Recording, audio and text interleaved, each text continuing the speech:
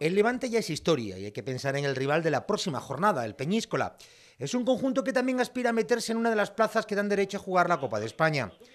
Mauricio señalaba en Onda Jaén que podrá cooperar a conseguir este objetivo una vez superado los problemas de rodilla. Está olvidada, la rodilla me ha molestado un poquito, pero ahora nada. Eh, hemos hecho un trabajo ahí muy duro con los fisios, con el doctor y nada. A pesar de la reducción de equipos que disputarán la Copa de España, los jienenses, desde su cuarta posición en la tabla, están convencidos de la clasificación. El objetivo es este, ¿no? no es entrar en Copa, creo que estamos obligados a, meterse en Copa.